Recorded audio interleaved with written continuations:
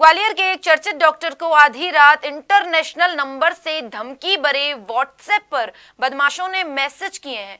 धमकाने वाले बदमाशों ने डॉक्टर से 10 लाख रुपए टेरर टैक्स मांगा है। मांग पूरी नहीं होने पर पत्नी और बच्चों को नुकसान पहुँचाने की धमकी भी दी। घटना के बाद से डॉक्टर और उनका पूरा परिवार दहशत में है।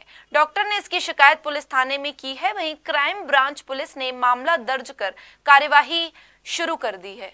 कल एक डॉक्टर हैं ग्वालियर में, जिन्होंने श्रीमान एस साहब को ऐसा आवेदन दिया था, जिसमें उन्होंने बताया कि व्हाट्सएप के थ्रू कि अज्ञात के द्वारा उनको धमकी भरे मैसेज भेजे गए हैं जिसमें उनकी पत्नी और बच्चों के नुकसान पहुँचाने वाली बात कही है।